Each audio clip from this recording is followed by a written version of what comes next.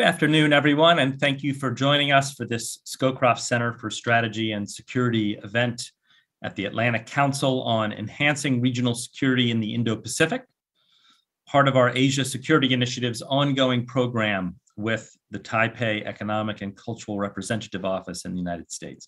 I'm Barry Pavel. I'm a Senior Vice President of the Atlantic Council and Director of the Scowcroft Center, and I'm delighted to be opening today's event which will explore an extremely timely topic how the US and its allies and partners can work with Taiwan to enhance regional security in the Indo Pacific. As this group knows well, China's provocative military activity towards Taiwan has surged over the past year. In response to these and other increasing cross strait pressures on Taiwan, the Biden administration has been working to uh, encourage U.S. allies and partners to publicly affirm support for cross-strait stability. Uh, we had a bilateral virtual summit meeting between President Biden and Xi Jinping, uh, uh, I believe it was Monday of this week, where President Biden highlighted that, quote, the United States strongly opposes unilateral efforts to change the status quo or undermine peace and stability across the Taiwan Strait, unquote. In addition, the US and its allies and partners in the region are exploring options for addressing regional tensions through a variety of means, including regional frameworks such as the Quad, such as AUKUS. Uh, so today's discussion really comes at a crucial and very dynamic time and provides an important opportunity for a conversation among such great analysts as we have today to share specific actionable recommendations for policymakers on these issues. At the Scowcroft Center, we work hard to develop sustainable nonpartisan strategies to address the most important security challenges facing the US and the world, and to honor the legacy of General Brent Scowcroft by embodying his ethos of nonpartisan commitment to the cause of security, support for US leadership in close cooperation with allies and partners, and dedication to the mentorship of the next generation of leaders. We're fortunate today to have this fantastic panel with deep expertise on US defense policy, cross strait relations, and China. And I'm eager to jump into the discussion to hear their insights. So let, let me uh, introduce uh, today's panelists. Um, we are honored to have Mr. Heino Klinck, the former Deputy Assistant Secretary of Defense for East Asia. During his time serving in that role, he oversaw US defense policy throughout the region uh, defense strategy development, security cooperation, contingency planning, and more. He brings more than three decades of private sector and military experience to this discussion, including eight years living and working in the region. He's currently a senior advisor to the National Bureau of Asian Research and is also the founder and principal of Klinck Global LLC. I'm also thrilled, as always, to introduce Dr. Sarah Kirchberger, who is a non resident senior fellow with the Scowcroft Center. She serves as head of Asia Pacific Strategy and Security at the Institute for Security Policy at Kiel University and is the vice president of the German Maritime Institute. Her work focuses on maritime security in the Asia Pacific region, emerging technologies in the maritime sphere, Russian Chinese military industrial relations, China's arms industry, China's naval and space development, and much more. She is the author of a 2015 book, Assessing China's Naval Power, and she has numerous other publications too, including co leading a landmark publication by the Scowcroft Center earlier this year called The China Plan, which was a, a framework for how the US can cooperate with uh, European allies to help manage the rise of China. I'm also very pleased to introduce my longtime colleague, Todd Rosenblum, who's also a non resident senior fellow at the Scowcroft Center. Uh, his work for the Council has been wide ranging emerging threats, domestic terrorism prevention, national security strategy, intelligence, cyber, nonproliferation, North Korea, and more. He was the IBM executive for national security uh, programs and strategy, acting assistant secretary for Homeland Defense at DoD, and a deputy undersecretary of intelligence at DHS, and also served on the Senate Intelligence Committee as an analyst at the CIA and the State Department. So I think uh, with so many issues to cover, um, I'll ask each of our panelists, starting with Mr. Rosenblum, to offer a few minutes of initial remarks on these topics, um, and then we'll dive right into a, a conversation. So, Todd, over to you, and thank you again.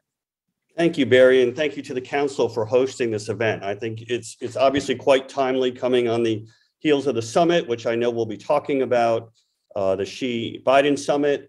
Um, and really, what I wanted to do is just spend a few minutes speaking about the context of where we are today, in, in my view, in terms of the cross-strait, um, really crisis period that we are in. And I don't use the word crisis all that often, but I do feel this this moment in time is elevated to that level. Just a few points I wanted to make um, about the environment today, and then talk for a bit about how China perceives the environment, how it perceives what the impact of its actions have been, uh, the mainland, and then also what the mainland thinks about the US intentions and US policy and where alliances are in terms of constructing uh, deterrence and dissuasion of, of potential escalation of the crisis. So I want to begin very quickly to talk about if we go back one decade from where we are today, we would have seen a very, very different Asia Pacific environment. Uh, China was just first beginning to um, build some artificial reef islands. Um, it was early in the period of is this going to be used for military construction? There were denials about that fact. Today, we see um, a whole range of, of, military bases really built on these islands and the Spratlys and the Paracel Islands, um, on Mischief Reef, et cetera. Now, where China has fighter jets, has surface to air missiles, and has really established a fairly robust defense capacity offshore. That's something that did not exist previously.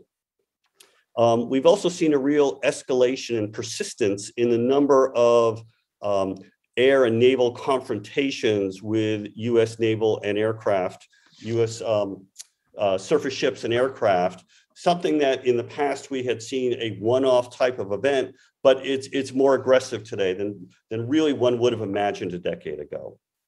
In 2013, we saw the PRC take a really another significant step when it declared, uh, it self-declared an air identification zone which expanded into actually Japanese territory. This was really somewhat of an enormous step at the time, lots of consternation about it, but it persists.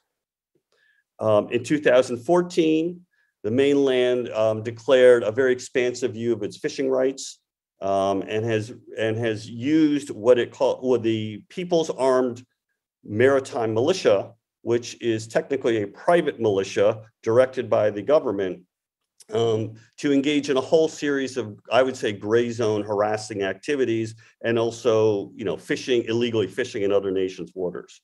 So I wanted to talk about that just in the sense of if you were sitting in Beijing, these steps that occurred really just over the past decade and accelerated and continue to accelerate, what has been the impact of that? What is the price that has been paid by these steps? And now I want to fast forward to this year with the PRC abrogating the basic law agreement with the British over the status of Hong Kong, and um, Beijing has ended Hong Kong's democracy. Um, for me personally, I find that very tragic and sad, but it was to many, many analysts and experts, this was a red line um, that if the mainland crossed, there would be an enormously high price to pay. Um, and there has been a price to pay, but the question is, what do those in Beijing believe to be the price that they paid? Is it, it was it higher? Um, was this cost higher than the gain? And I'm not convinced that that's the perception at all. So it leads me just to, you know, perhaps posing more questions for our discussion today, and then I'll, I'll be turning it back over. Beginning with, how is the PRC reading the US today in terms of the US commitment to the Taiwan's Relation Act? Um, does it believe the US is firmly committed to the defense terms of this act? Um, and I, I, I pose that question again from the construct of sitting in Beijing. Um, what have what strategic actions have occurred in terms of U.S. use of of threat, coercion, uh, red lines that would not be crossed going again the past decade? Um, and I'm not trying to paint a, a, negative picture, a fully negative picture, but if you're in Beijing, you observe the Russian interference in the US election, and you then had to assess what price did Russia pay for that. Russia landed um, landed troops in Syria to the surprise and actually was in an opposing fighting force from, from a US coalition on the other side. Um, what price did it pay for that? Um, its read of in the Trump administration, the emphasis on America first and openly questioning the value of alliances. And then most recently, the withdrawal from Afghanistan, um, how it was handled so chaotically from my, from my sense. Um, and, and how is all this reflecting in Beijing as it looks at the US commitment um, toward Taiwan and defense? So and, and obviously I'm focusing on the negative. There have been a lot of positive steps that have occurred as well in terms of strengthening our alliances and partnerships, and we'll be getting to that. But I just really want to spend, you know, this in closing this time on the perception from Beijing of what price would be too high from its standpoint um, to continue to escalate the crisis in the, with Taiwan, and also does Beijing believe that allied nations would impose that too high of a price to make it not worthwhile to it. Um, in other words, is if in fact it is going to be largely reputational harm um, and some industrial loss, does that outweigh for Beijing um, what it views as a, as a strategic objective um, that you know dates in its own historical perception? So I think I want to close with just sort of those framing comments as well, Barry, and turn it back to you.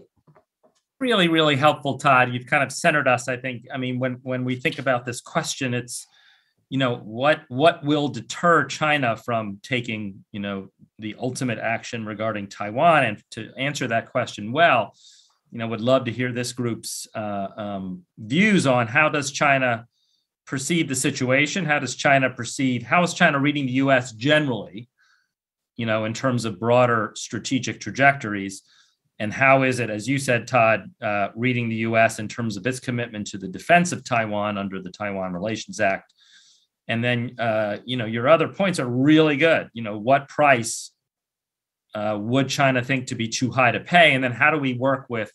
How does the U.S. and its uh, allies and partners work to try to credibly threaten that price? I think that's kind of the the focus of the equation here for the purposes of deterrence. But there's a lot of issues. So um, let me now turn to uh, Dr. Kirchberger for uh, her general thoughts, and we'll certainly return to that great set of issues you raised, Todd. Sarah? Uh, thank you, Barry. It's an honor to be here. Uh, thank you for having me.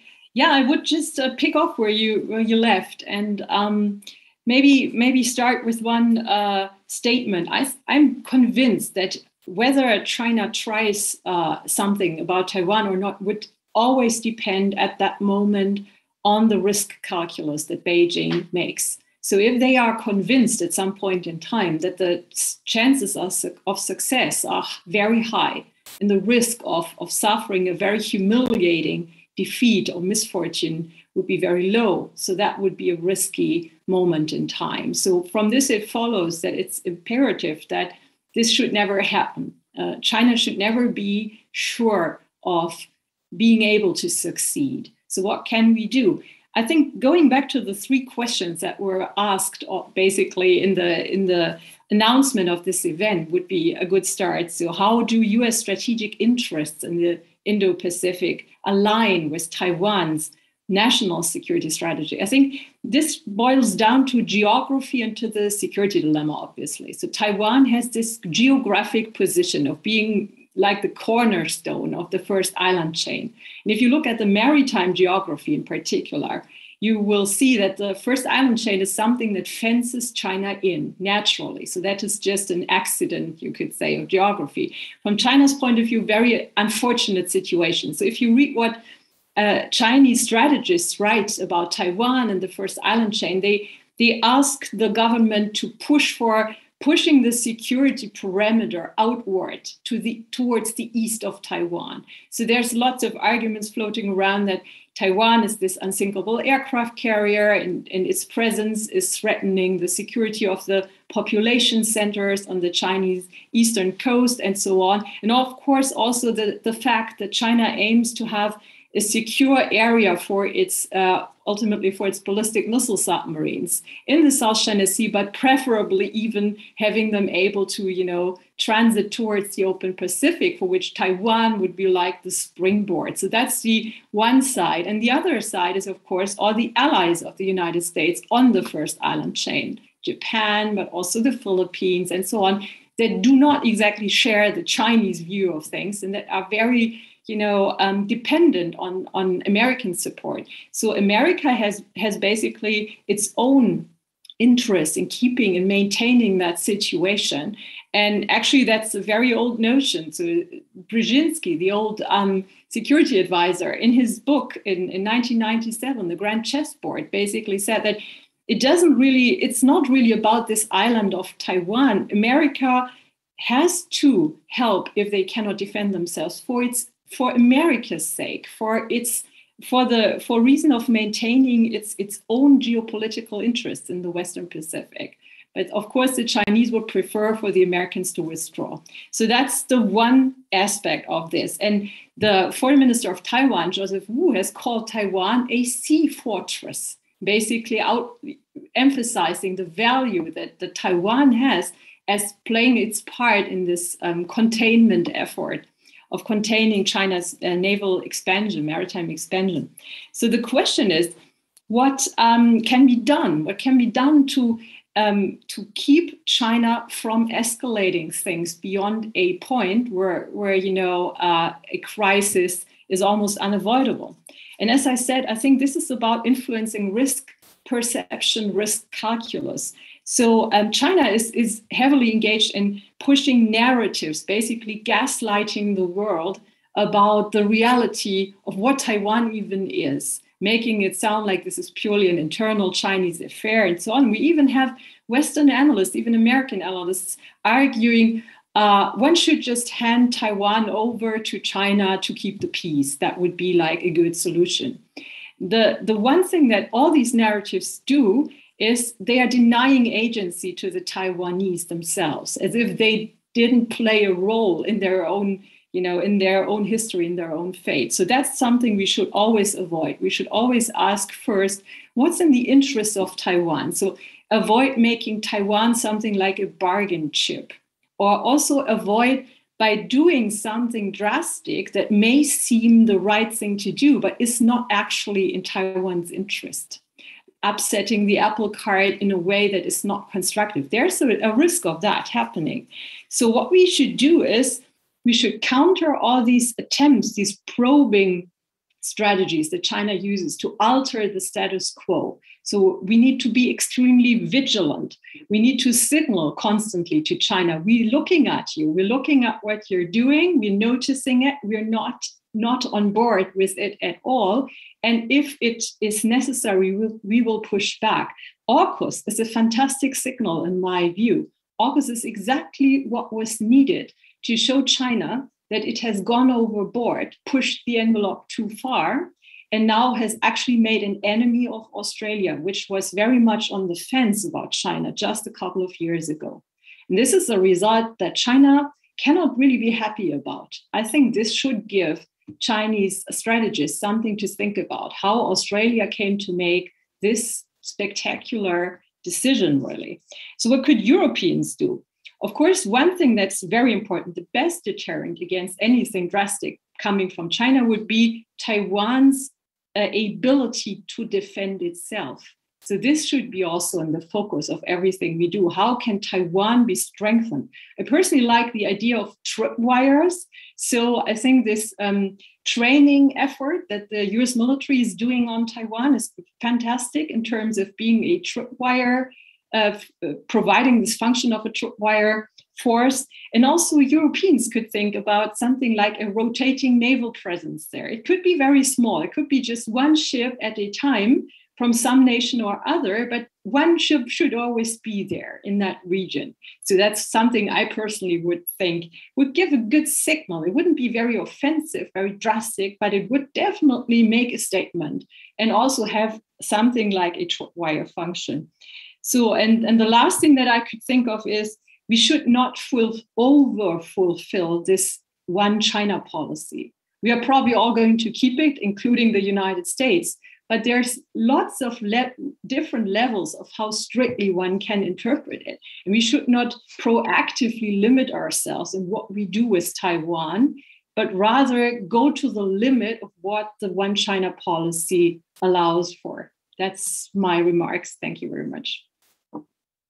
Thank you, Sarah, and really, really helpful framing also about how uh, U.S. interests align, uh, about how we change the Chinese risk calculus, which I want to get back into, um, Europe's role and Taiwan's ability to defend itself. And I also want to think about and talk about other other groupings. So AUKUS to me was step one, sort of, of various kind of coalitions or groupings.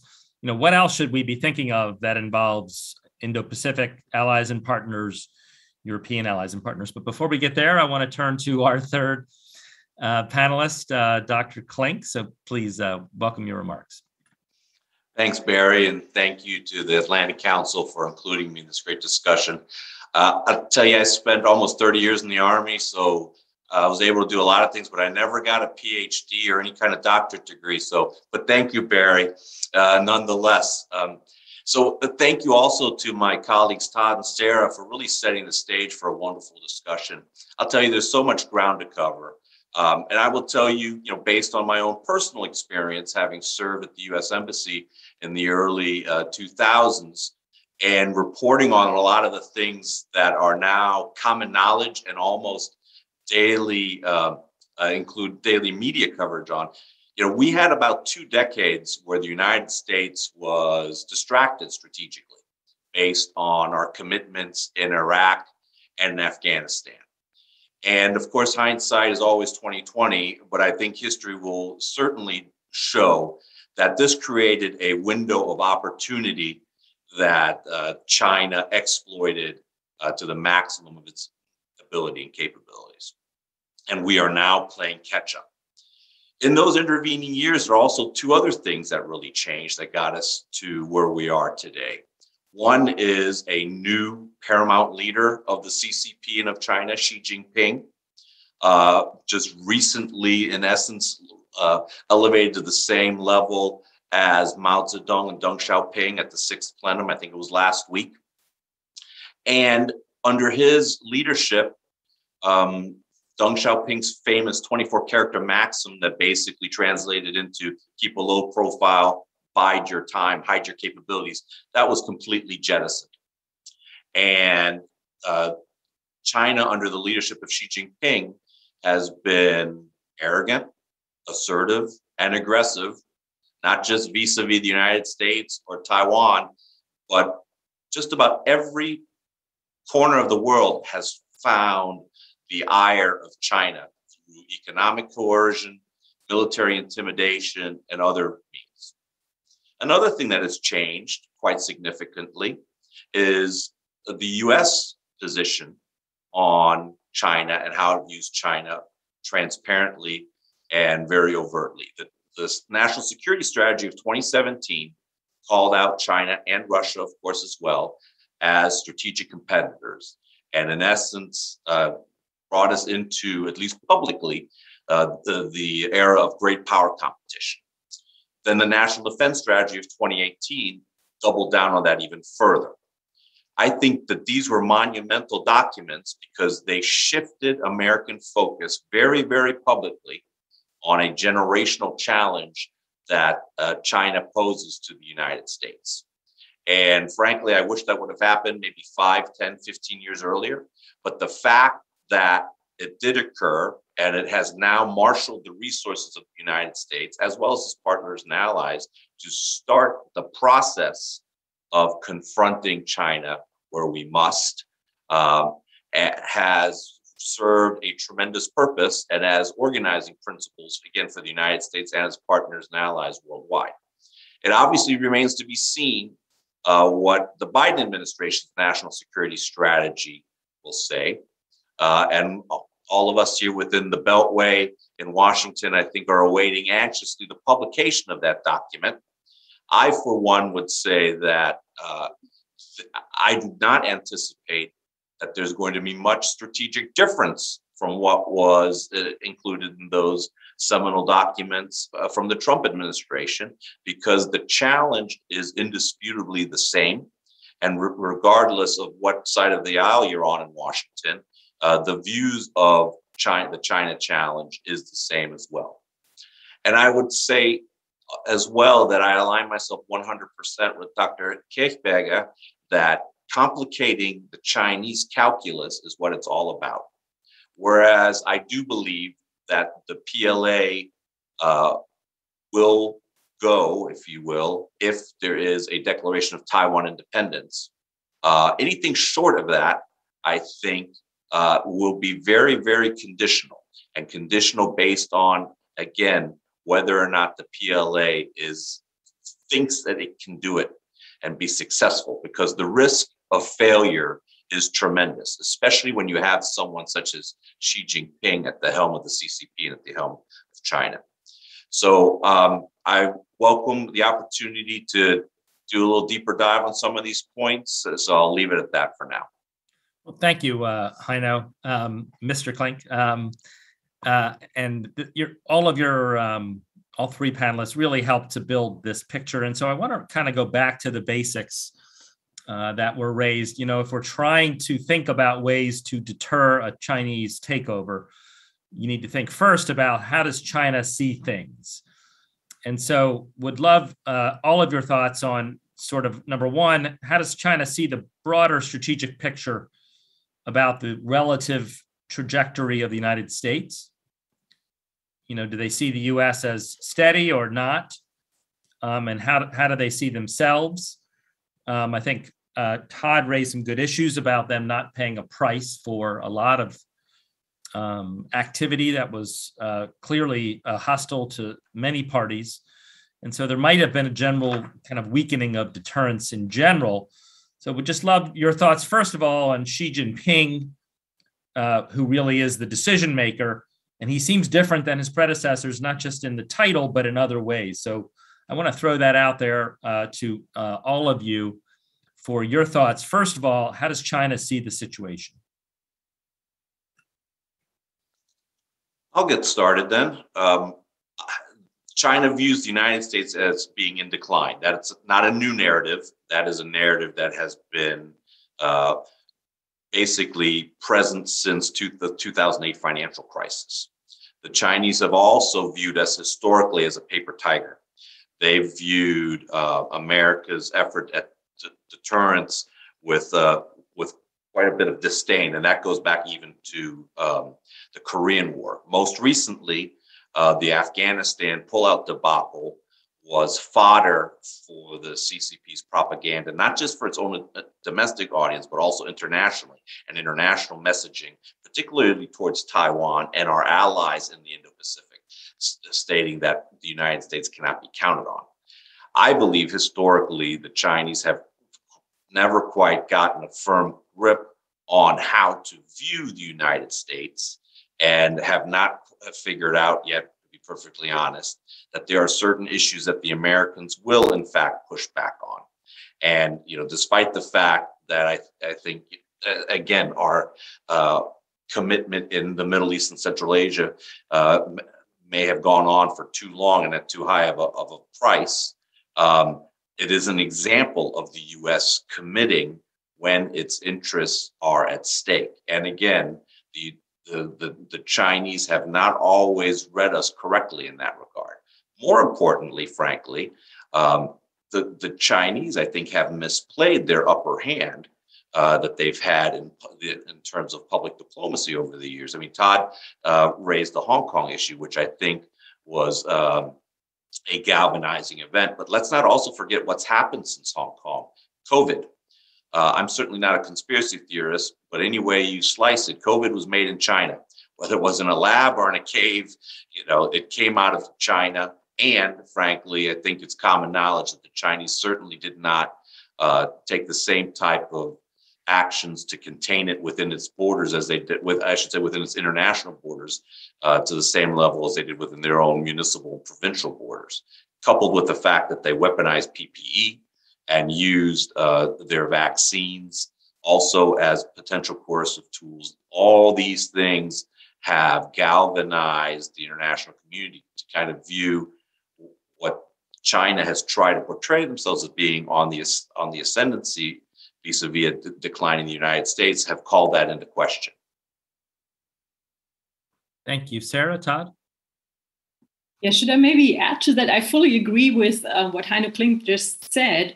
But um, to add, maybe I I think that we need to look also a little bit into who advises Xi Jinping. So there's there's uh, some difficulty there. So the Chinese top leadership is a bit of a black box to analysts, but we do know that Wang Huning is like the chief advisor, and there's been uh, a little bit of news reporting on his thoughts and the development of his thinking recently. And it's pretty well known that he was in America, that he has firsthand experience of America, but that he got completely dis- disillusioned um, about the system, basically, that he saw and and that was maybe partly responsible for uh, developing this um, notion that China could present something like an alternative model of development or something. But when I look at the behavior of the current government in China, to me, all this hypersensitivity to criticism that is evident there does not exactly speak of confidence, of self-confidence. So they are, are so, basically, if, if it were a person, one would say they're behaving like a narcissist completely unable to take any sort of feedback, even mild criticism, lashing out uh, violently against anyone, uh, putting forth some sort of, you know, even constructive criticism, being completely aggressive, at the same time uh, using a victim narrative basically to turn around the blame. So, so this is a pattern of behavior that normally indicates a lack of self confidence and not the opposite. So, if you look at the domestic development of China, and that is really something that we should focus on, there's two things. One thing is China does have a, a, huge pile of problems to solve over time that are not going to be easy to solve. And the government is probably very well aware also of dissent, even within the party.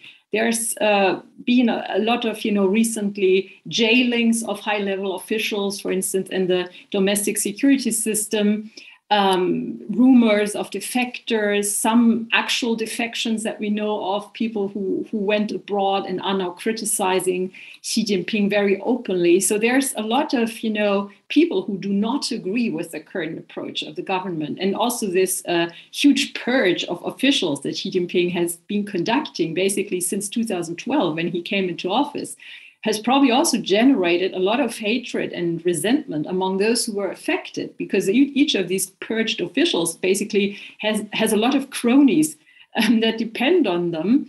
And so this is this is a large uh, sizable you know uh, portion probably of the former power structure that he has made enemies of.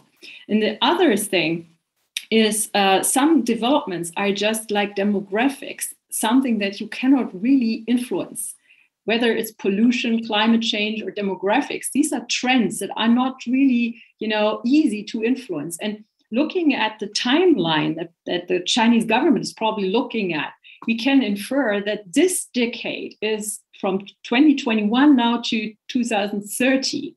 This is probably, as it has been called, the decade of concern, because then China can still feel probably that it has the upper hand in some ways. But after 2030, there's a real risk the China could be facing a middle income trap, could be faced with very, very unfavorable demographics, and could be facing a host of problems, whereas the United States might have recovered by that time and stopped being a declining power in the Chinese perception. So there, this is what I, I think we need to take away from this. We need to to see the pressures that the Chinese government is probably facing internally also and also realize that it, it is what we have to do now. We have to get our part of this interaction right during this decade. So we need to make sure that this maybe desperation to to solve the taiwan issue in this decade that this this does not bear fruit. And if we can can basically hold the line until 2030 i would think looking at it now that that this then the tide will have turned perhaps Thank you, Sarah. Todd? Yeah. I want to associate myself with comments from Heino and from Sarah, and, and I agree with much of them.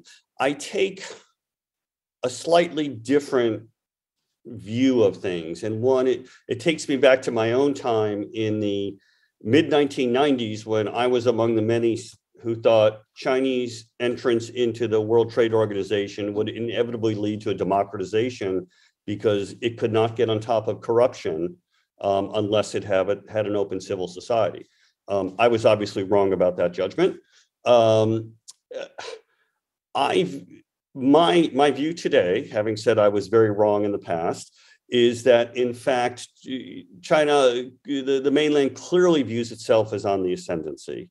Um, that is in a period of extraordinarily nationalism, extraordinary um, fomented, promoted nationalism by the state, which is actually quite dangerous, I think, as well, in terms of putting pressure to keep doing acts and making statements that keep the nationalist sentiment going forward. Um, and also in terms of you know the leadership losing control of that nationalist narrative we see little tidbits of this about maoist groups who demand more purity from government that sort of thing but I, I, don't view that as a threat in any way. I think you know Xi has clearly ensconced himself, as you mentioned, uh, with Mao and Deng uh, as you know um, leaders above all else in the nation. Um, now, having said this, I do think, and earlier we I raised this issue, and we've all talked about the reputational.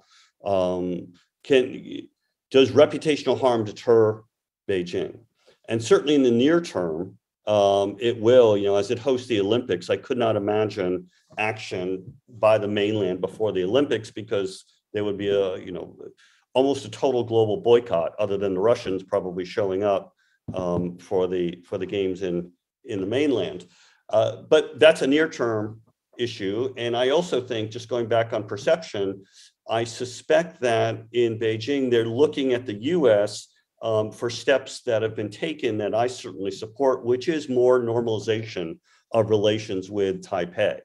The increasing, and, and this is within Sarah's point about things we could do while still staying in the parameters of the Taiwan Relations Act, um, receiving high level delegations officially, um, openly doing training exercises.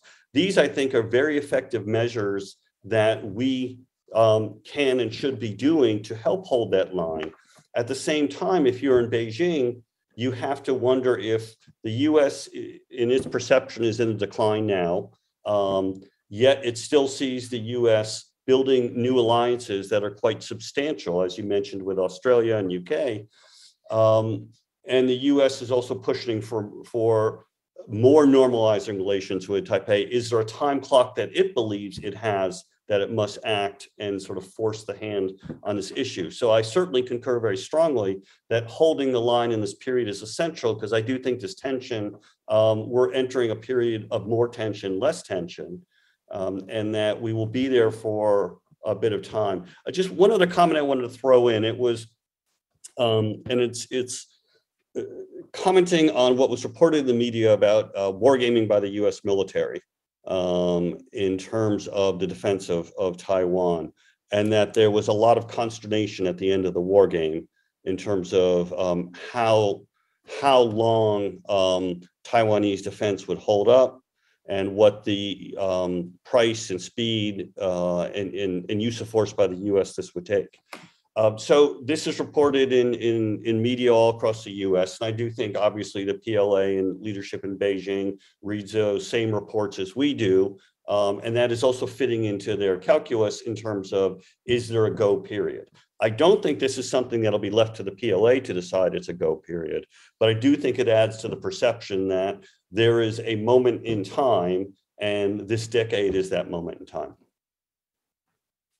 really, really helpful uh, all. And I just want to dwell on this issue a little bit. And so it just strikes me that, but I, I would love to hear your thoughts. I mean, is, is Xi Jinping a, a less risk averse Chinese leader than we've seen in a very long time? Is he more risk prone?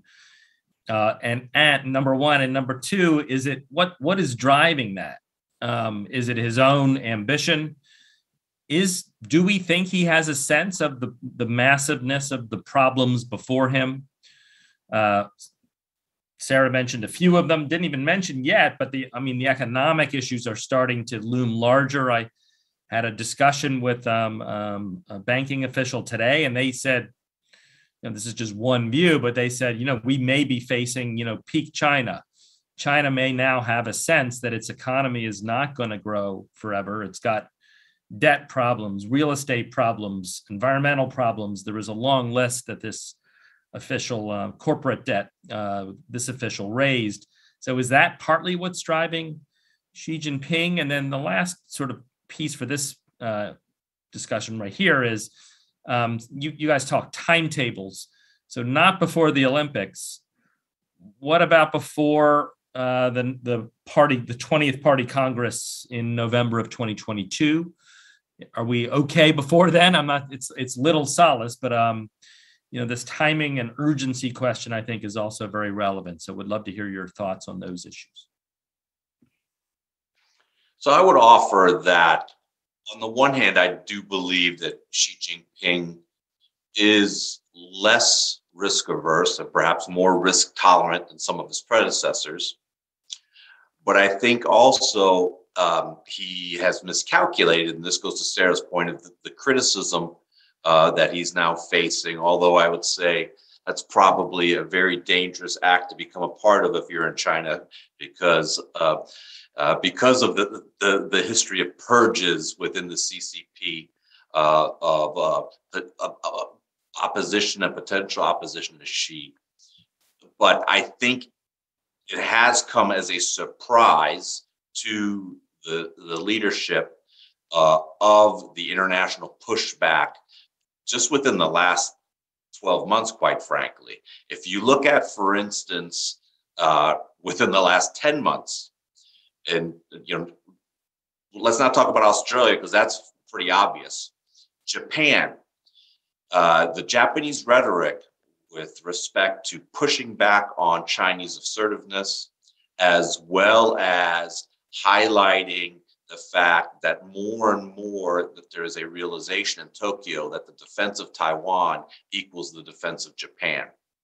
The fact that now the Japanese are discussing very openly uh, breaking through the self-imposed uh, policy cap of 1% of GDP being spent on defense, which has been in place uh, for forever. Um, and the movement of Japanese forces to the Southwest Island chains. All these things have been occurring uh, publicly, frankly, within the last uh, 10 months or so. You see, obviously, pushback in Europe as well. And even the South Koreans, when President Moon uh, visited the White House, even in the in the uh, the joint communique between the United States and South Korea that was published, the fact that the South Koreans agreed to mention peace and stability in the Taiwan Strait, that is unprecedented, and that shows that uh, Xi has in fact miscalculated. Now, that being said, I go back to my uh, earlier point, which I think will always be relevant, regardless of an Olympics regardless of a party Congress, if Taiwan declares independence, the Chinese will be forced to act. And I think there's a lot of, you know, in this town in Washington here, there's a lot of talk right now about the, the continued value of strategic ambiguity. Should we be more clear as to what we would do?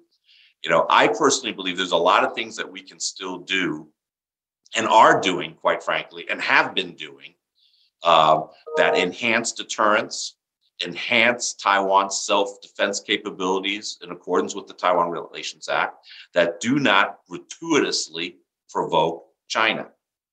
And and frankly, I spent a lot of time when I was in the Pentagon uh, in my most recent uh, uh, job there working on that. And I think those things can be done in a no profile manner and in a low profile manner, which to be quite frank, the Chinese will always find out. But if you do things in a way that do not unnecessarily provoke them, I think that's actually more effective than doing some sort of public uh, training event exercise and the like.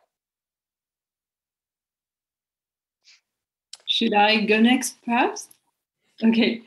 About Taiwan declaring independence, I would just like to throw it out there that, as far as I understand, uh, the official position in Taiwan is that there's no need to declare independence because the Republic of China on Taiwan is an independent country and has been one uh, basically since 1911. So um, that's the official position. So I, I, actually think this is not a likely event that we're talking Good. about. Taiwan yeah, I actually, why would they do this? This would be like suicide. I, I don't know anyone in Taiwan who would go down that road, except maybe a very, very fringe minority of people who are reckless. But the absolute majority of Taiwanese do not want, of course, war, and they will not give China a reason to start a war.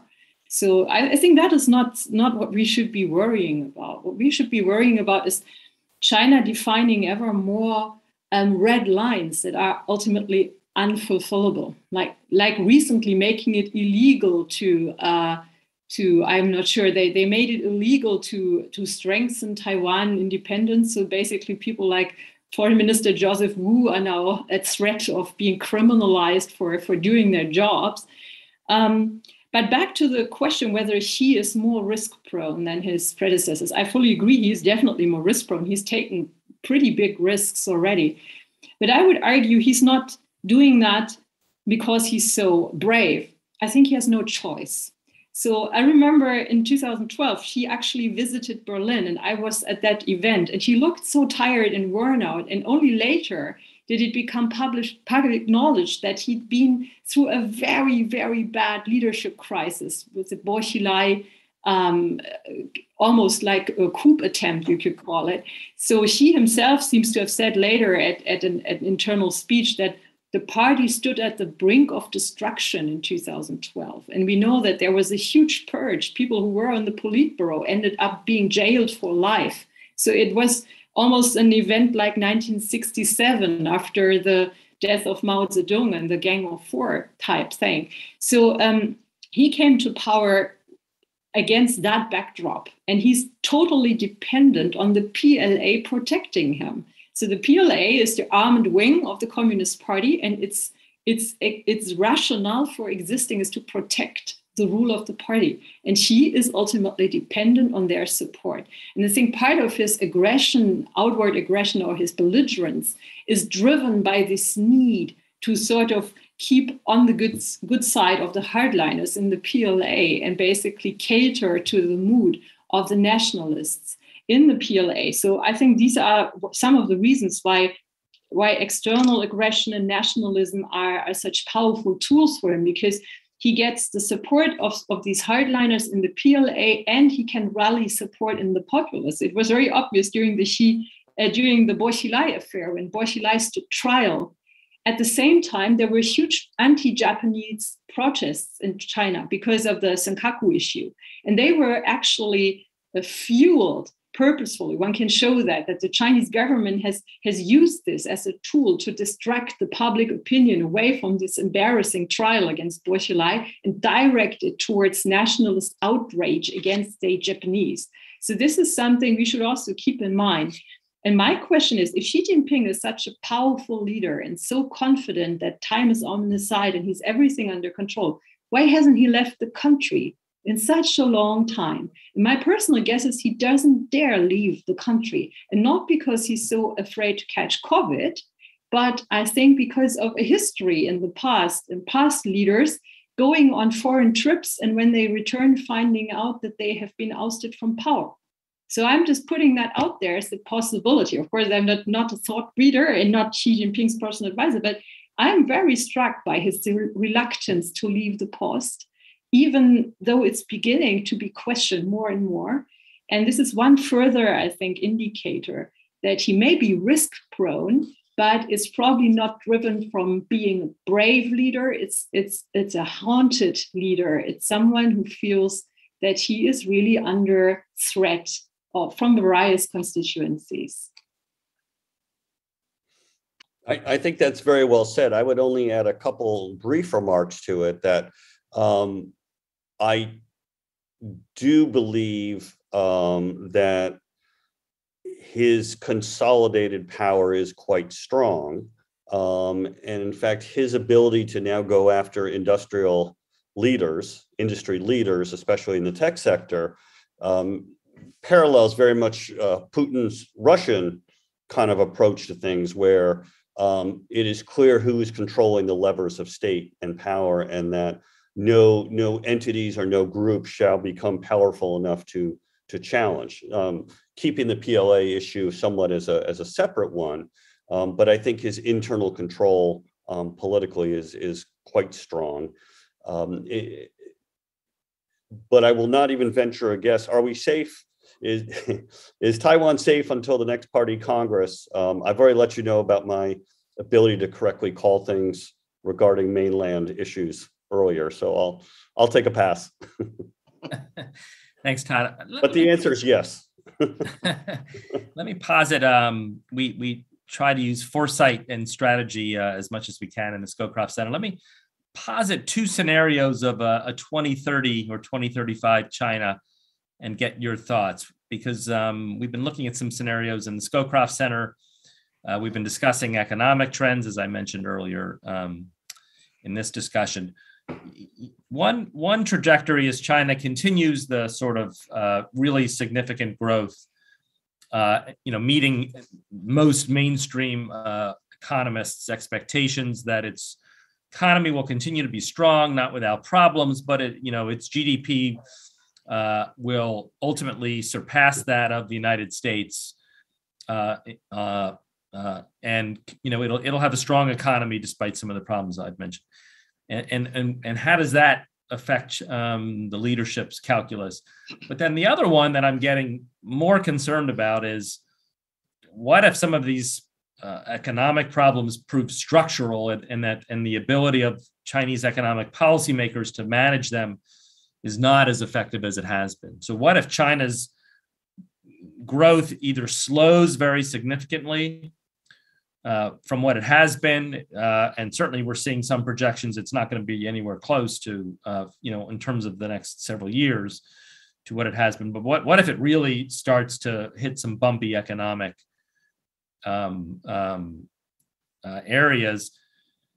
And so it's it's maybe not a declining China, but a China with real economic, um, you know, uh, stalling and and how does that play out in terms of Xi Jinping's calculus? So which, which it's almost like which not that we have a choice, but as we're watching, you know, over the next several months and years, China's economy play out, we see it heading more in one direction or another. Which is more difficult and challenging for the United States and its allies? Which would make it go, um, you know, take risks regarding Taiwan more? Is it the strong China that feels very confident? or is it the relatively uh, weaker China that's that's that's hitting some uh, significant economic challenges domestically? Um, maybe I'll, I'll go first this time on this. I think these are a great set of questions you're asking.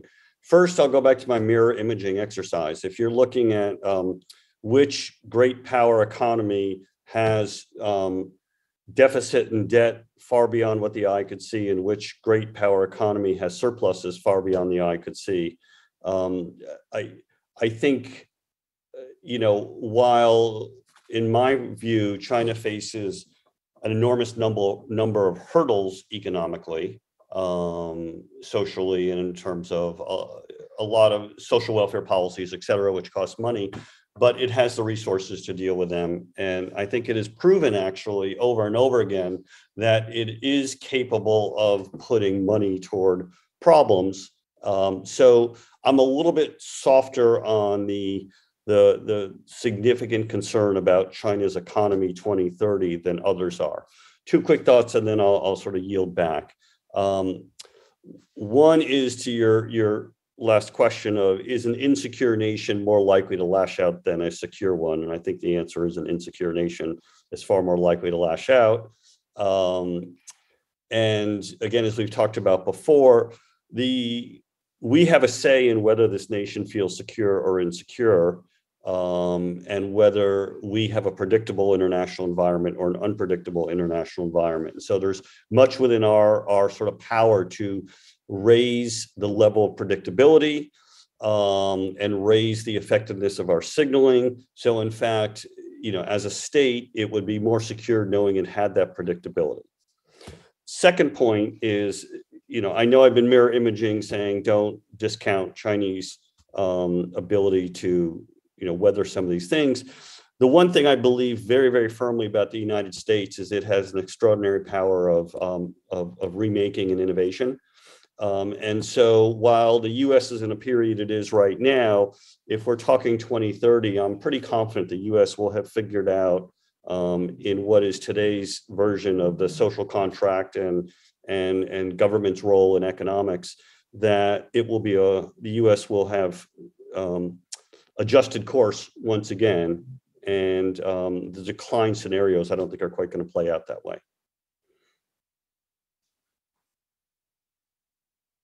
I know. What are your thoughts on the these these two Chinas? Sure. So um, I will say that number one, there have been many examples of Chi- in Chinese history where the central government, whether it was led by a communist regime or an imperial regime, uh, used a external threat to focus uh, domestic uh, support for something else. So, um, so there is certainly, if there are internal issues, domestic uh, strife driven by a slowing economy, um, that yes, you could envision scenarios where a China uh, might lash out in order to uh, attract attention or put attention elsewhere.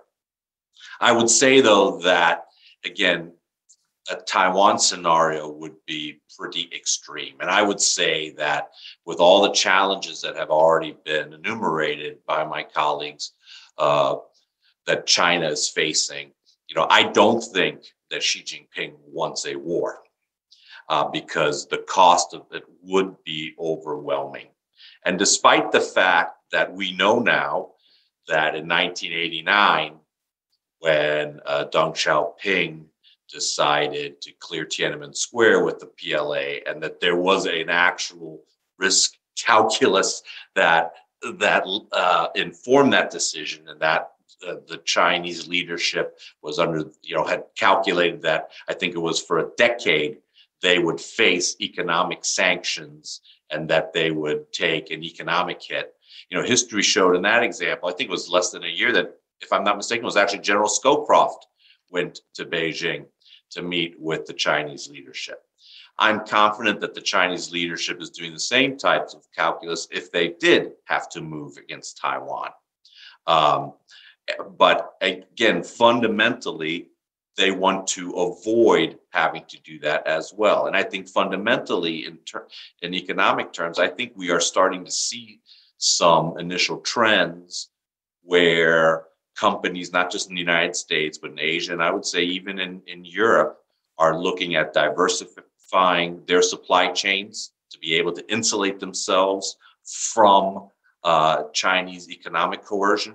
I think there are also companies that are looking at uh, growing their markets elsewhere so that the, that they're not dependent on just exporting to China. I think these are things that you're going to see more and more, and that will actually lead to additional economic pressure on, on China. And I would tell you from a very, you know, very fundamental uh, point, you know, I, I certainly do not want to see a China in turmoil either but a China that has to make the same types of decisions about how much to put towards defense as as as we, for instance, the United States debate, I think that is something that is in our interest.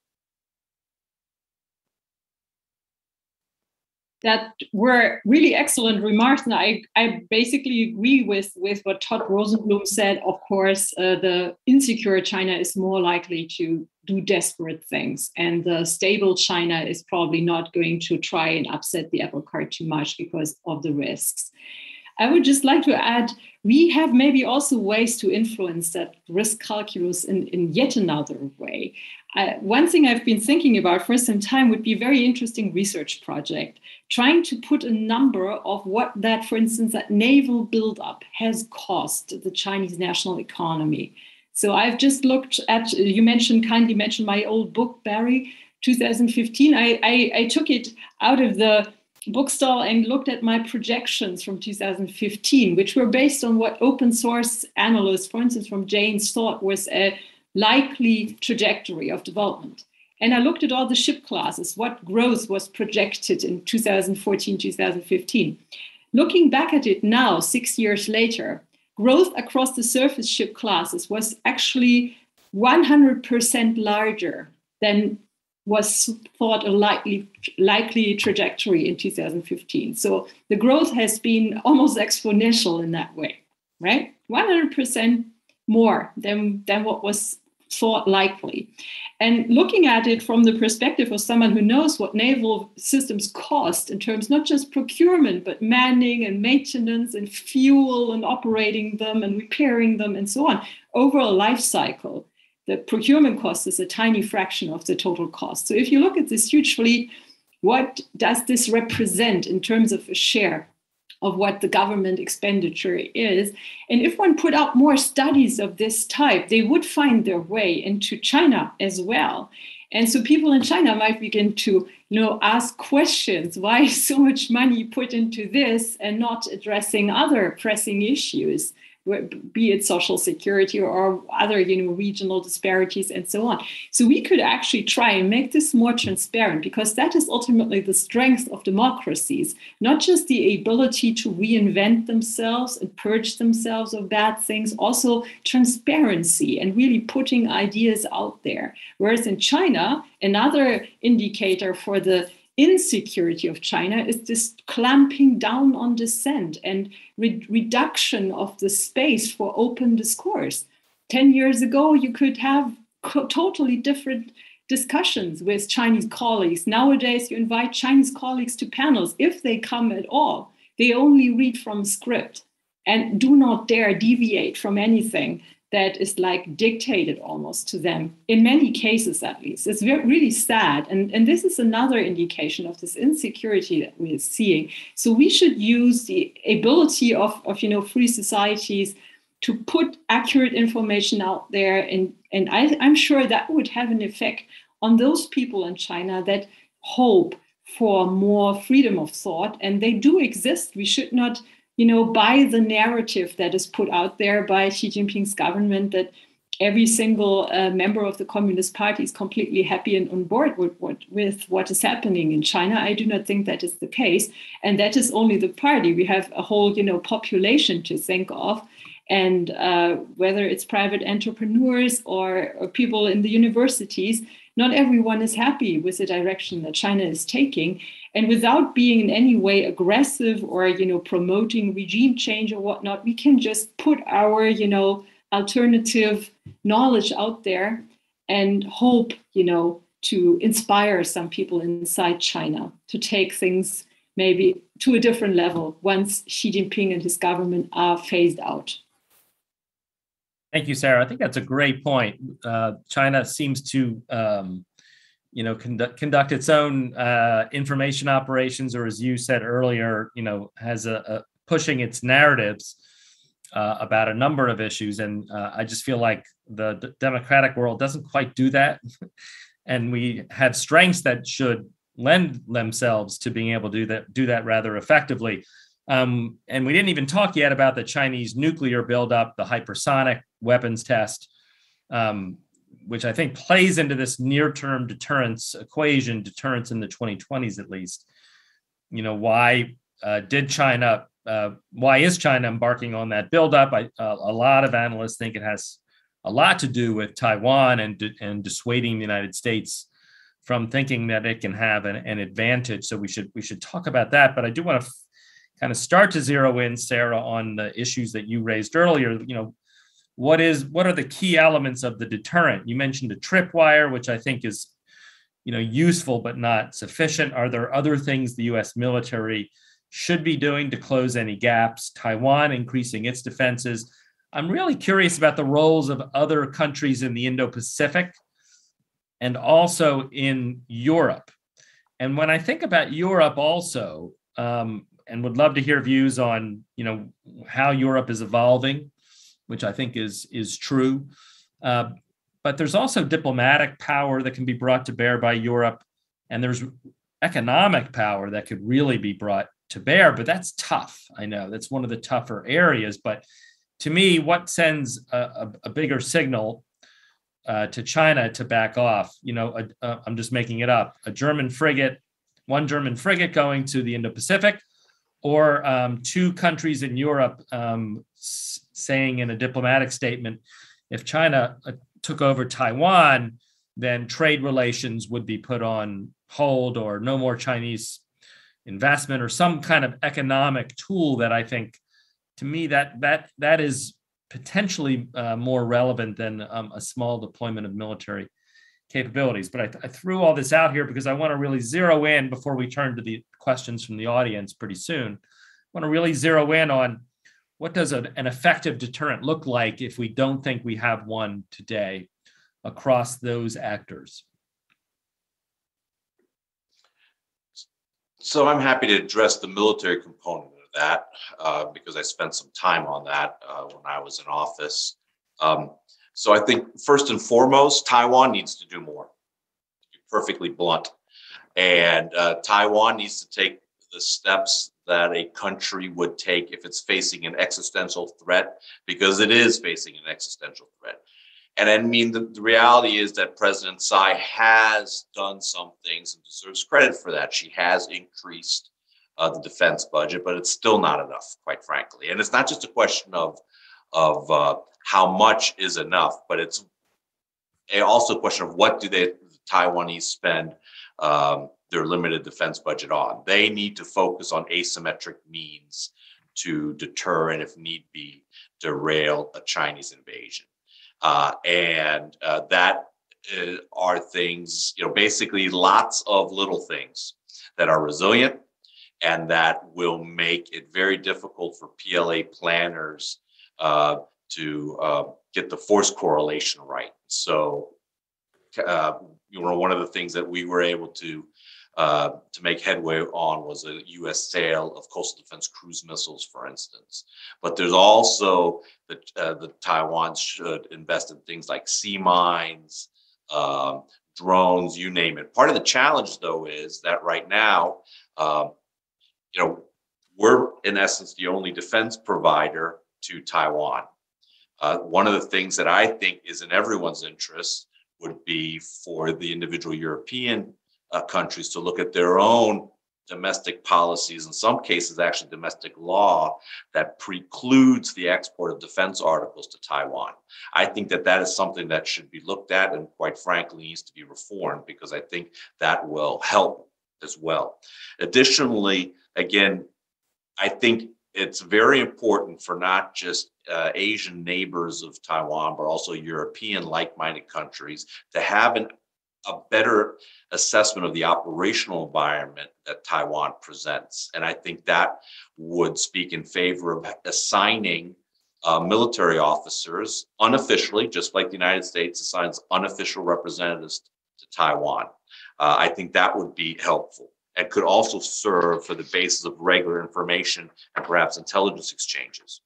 Coast Guard cooperation between uh, Taiwan, the United States, and other countries, whether it's in the waters in and around Taiwan or perhaps in, with the Pacific Island countries working on things together having to do with climate change and the like.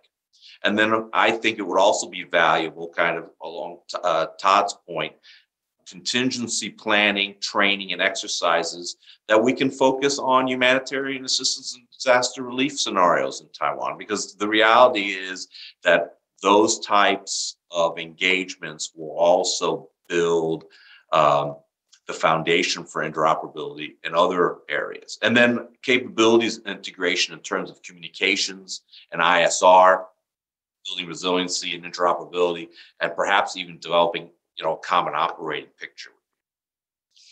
And then overarchingly, I would say multilateralizing the risk, because there is safety in numbers, quite frankly. I think AUKUS and Quad are perfect examples of that.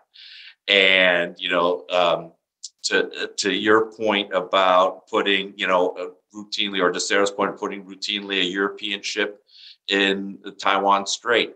You know, I think that would be phenomenal, quite frankly. And I wish, I don't know if it's too late now, Sarah, but I wish, you know, the, the Bayern on its way home to Wilhelmshaven would go through the Taiwan Strait. You know, um, so I think there are things that can be done that signal China that this is not just a China Taiwan issue or a China US issue. There are many others that are against a unilateral Chinese solution to the cross strait dilemma. So I'll leave it at that. Um, yes, I, I, fully agree. And uh, about the Bayern, uh, one should keep in mind that this is the very first thing that Germany has has been doing since I think 20 years now. Um, I have heard informally that it might not be the last thing that Germany might be doing. And one can infer from the rather, you know, miffed reaction coming from China to this transit, because the Bayern actually offered uh, to go on a port visit to Shanghai, and uh, China denied the Bayern this port visit. So this is a signal that China has interpreted this as a like a hostile action or an unfriendly action, and that's more than I, I, frankly think is warranted, given that the Bayern is transiting basically only that area and um, only doing very you know diplomatic things out there, and it's just a, a single ship, of course. Uh, I would add to what uh, Heino Klinck just mentioned in terms of the military capabilities that would be helpful. Uh, the submarine uh, dimension is very important. That's why AUKUS is also so fundamentally important, because ultimately submarines are perhaps a very decisive type of system that could, in a contingency, really make the difference.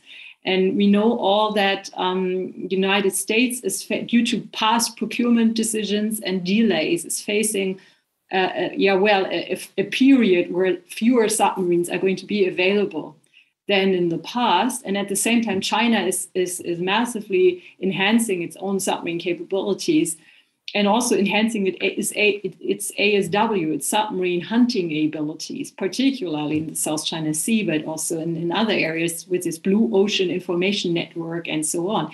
So, if we even think hypothetically about coordinated actions between China and Russia. They do not even have to be, you know, in the same theater. They could just be coordinated on a timeline for Russia to to do something troublesome in Europe, right, like just now, and then uh, Taiwan uh, escalation. This could very easily become uh, a situation where everyone uh, feels overstretched. And so, I think the most important contribution that Europeans can actually maybe uh, contribute is um, enhancing the security of Europe itself. So, to freeing American resources to some degree, and also to make it less attractive for Putin and Xi to try and go for this, you know, double trouble scenario. That would already be a contribution that I think would be valuable. But I do think you're completely right, of course, pointing out the allowing Taiwan the ability to defend itself depends, of course, on, on exports of arms.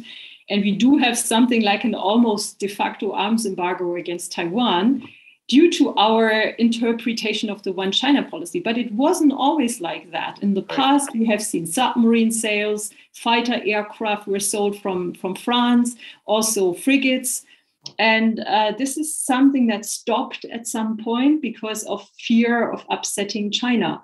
But uh, we've also seen, on the other hand, attempts, for instance, from Britain to help Taiwan develop some technology. So they have been getting some help from different quarters, and that could be perhaps be more, you know, supported, supporting each other also in going down that road. I completely agree that this would be necessary. And one could frame it that way and communicate to China it's your doing that we're seeing the necessity to do that you have nobody else to thank for that than your belligerence. Because let's keep it straight. It's it's one party in this whole situation that's trying to change the long-standing status quo. It's not Taiwan, contrary to what China is trying to to uh, tell people. And this should be always given as the reason for all these measures that we are taking, supporting um, Taiwan that this wasn't necessary in the past, but is necessary now because of the Chinese behavior. And one could also frame it positively in the way, say, if you go back to behaving rationally and reasonably, then things will become better for everyone. So frame this in a, in a way to point out a positive way of development. So conflict is, is of course not inevitable, not in anyone's interest. But uh, we must, and one last remark, we have not talked at all about NATO so far. And of course, NATO is a transatlantic organization and not uh, an Asian organization. But one should keep in mind NATO represents more than 50% of the world's economy and also of the world's military capability. And so, if NATO, in a purely defensive way of framing it, would say we stand with all our allies wherever their interests are threatened, that in itself might already also have quite you know a subtle deterrent effect on china knowing they might be faced in if worst comes to worst not just with the united states but with the whole of nato. It's i'm not sure whether nato would be willing to to make such a public you know uh, claim. And i've heard a nato official recently say the less there's talk about article 5 the better for article 5 and maybe that is true.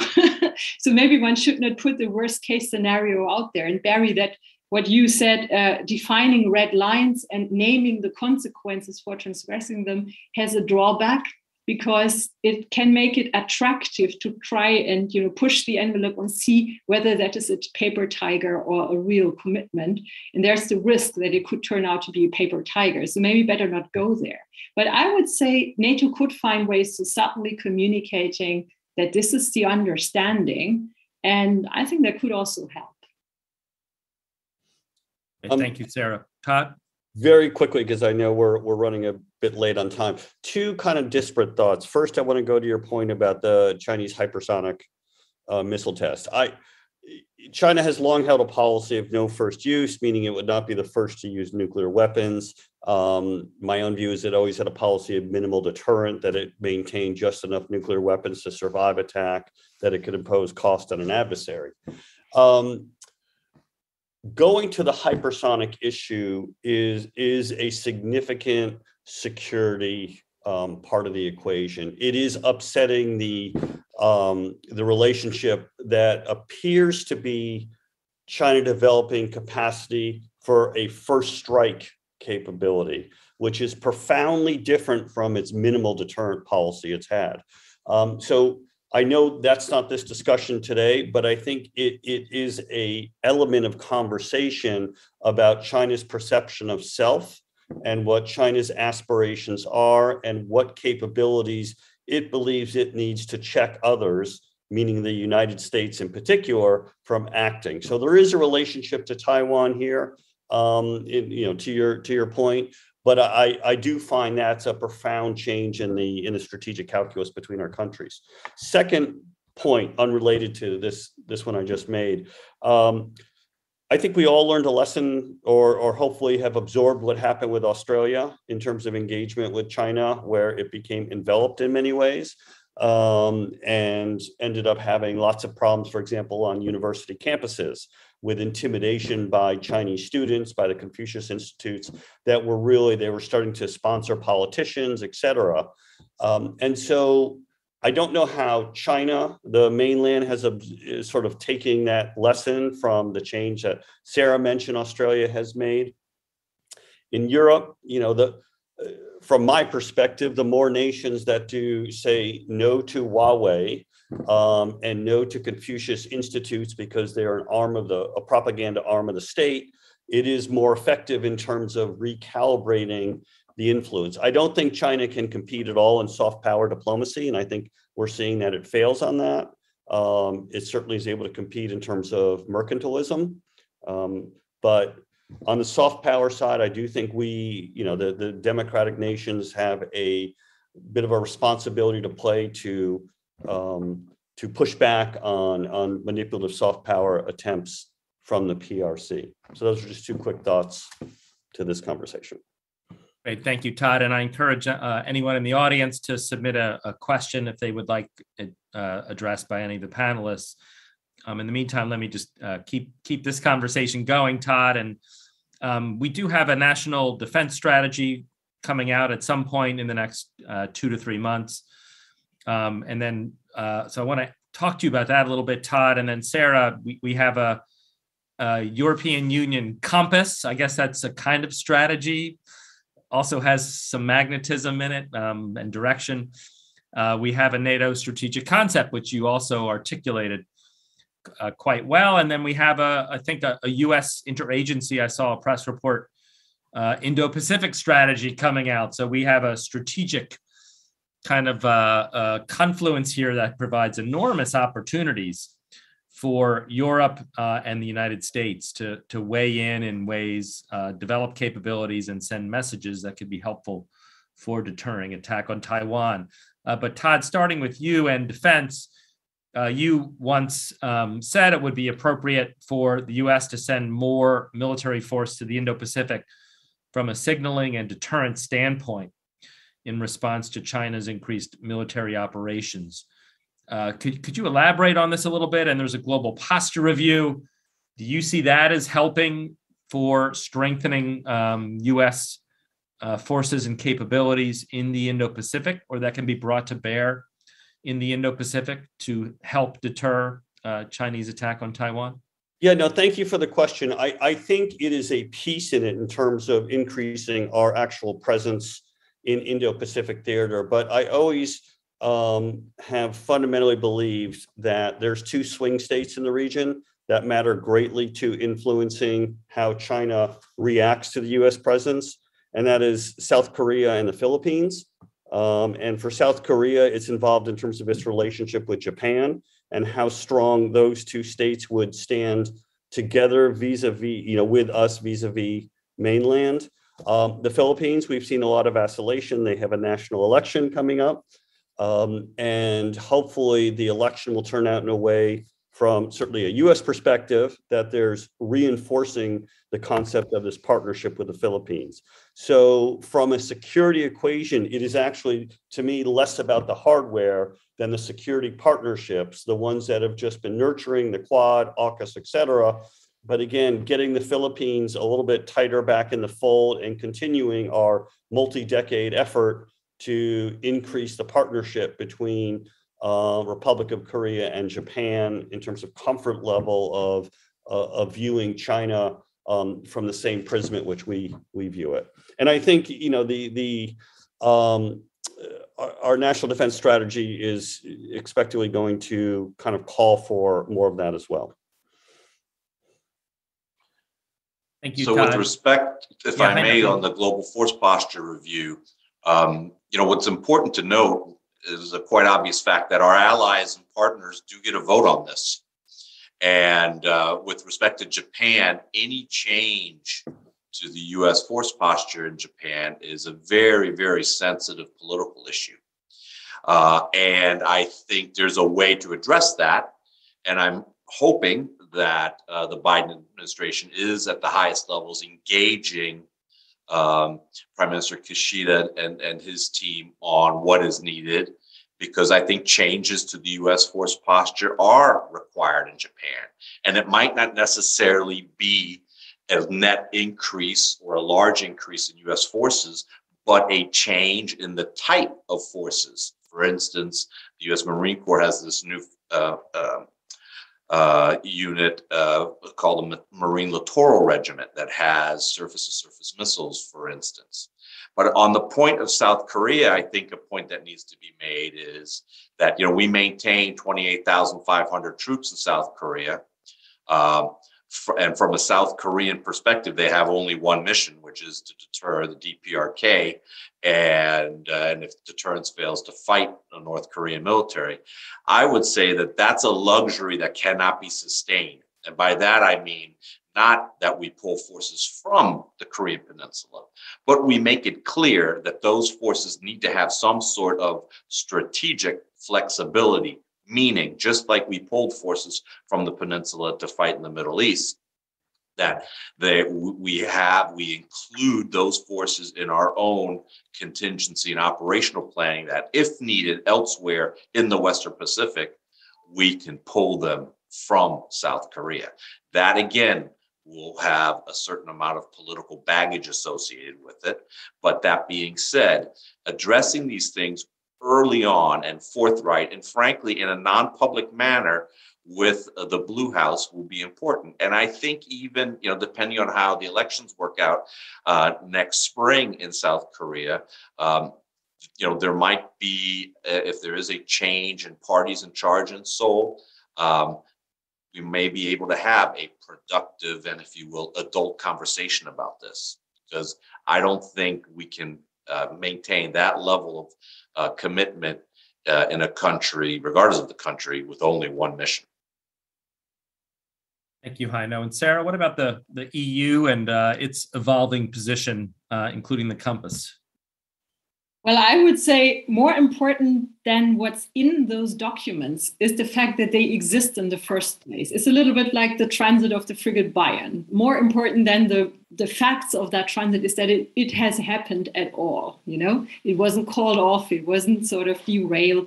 And if you look at, at Europe and also Germany in, in particular, in my case, uh, over the past couple of years, the change in perception that has happened is actually incredible. It's it's not enough.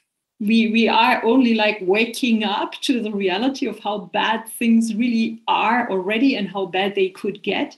But a couple of years ago, you found almost as a mainstream opinion that there's nothing going on there and Taiwan is, is safe and there's nothing to worry about. And Europe is an economic actor, but doesn't need any sort of strategic outlook and so on. And, and that was basically the mainstream view. So Europe was always very good at insulating itself from really looking at even its, its near abroad and not, of course, looking strategically in that sense at any region, and also being very, you know, confident in United States military support. And I think it has taken some time to sink, for the reality to sink in that some things can't be taken for granted and that other regions of the world are developing so fast in a, in a worrisome direction.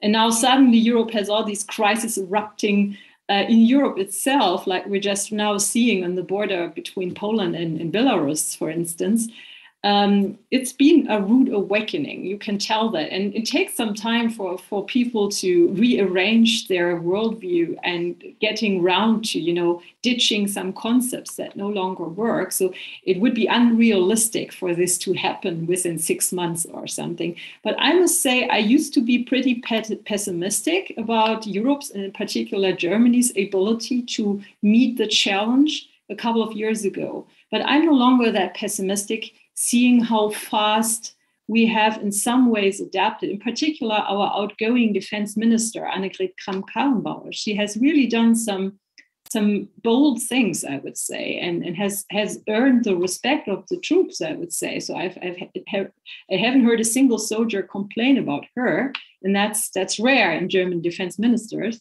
So uh, she has really done some things that I would never have expected to see from a German defense minister anytime soon. And that's, in my view, um, showing that it's not really about what exact wording we put into these documents. The fact that a process has begun where people try to think strategically and and do the first steps into into that direction that is already something. And of course this needs to become better it must be more integrated with nato and with the allies. I think key here really is and that's something i tell all the people i, I get a chance to to uh, advise interact and consult with the asian allies of the united states and with australia because these people are on the front line. They know exactly what's going on there, but they are not the United States. They have their own national perceptions and interacting with them and asking their, you know, opinions about stuff. That's really what's going to change the minds of our decision makers, in my view. Thank you, Sarah. And I, uh, I think we are out of time. Unfortunately, we have covered a ton of ground. I want to thank all three of our panelists for offering very specific and actionable recommendations across a wide range of allies and um, actions and um, other relevant domains. So thank you so much. Um, I've learned a lot, um, really engaging conversation, and please stay tuned, everyone, as we'll continue to do programming on this really important set of questions associated with deterrence of Chinese attack on Taiwan and the broader management of the China challenge. So thank you everyone for joining us. We look forward to seeing you soon.